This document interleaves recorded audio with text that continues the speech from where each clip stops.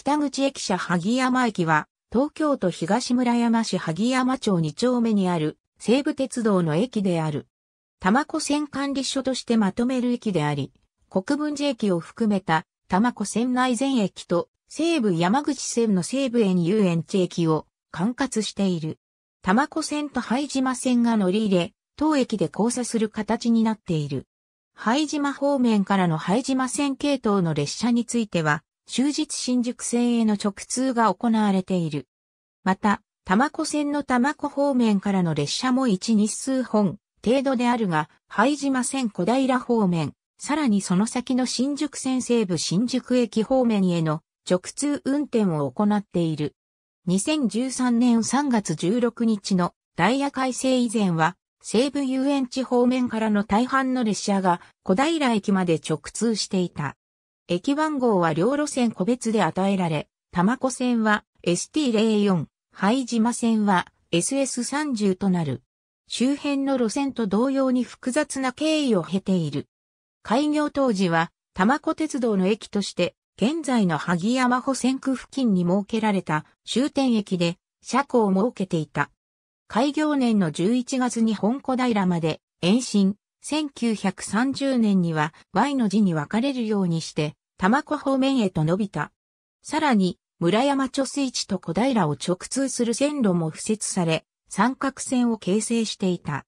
そして1958年に駅を現在地に移転し、新宿線から当駅を経て、玉子方面への直通ができるように改良された。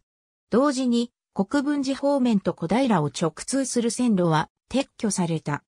1962年に、拝島線がブリヂストンへの引き込み線を延伸する形で接続され、1979年には複線化された。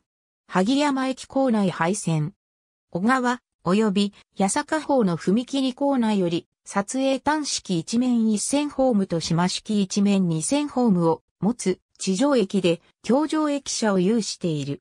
島式ホーム部分が1.2番線、単式ホーム部分が3番線となっている。歴史的な経緯から大変複雑な線路構造になっており、発着ホームも変則的である。かつて駅構内には売店があったが、2018年6月閉店した。定期券を窓口及び自動定期券発売機で発売していたが、2010年5月1日に窓口が廃止された。2009年の改良工事完成に伴い、エレベーターが新設された。2019年度の1日平均乗降人員は1118人である。西武鉄道全92駅中68位。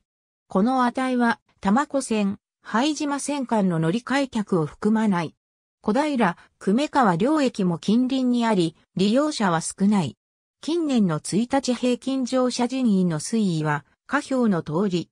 近年の1日平均乗降人員、乗り換え人員の推移は、下表の通り。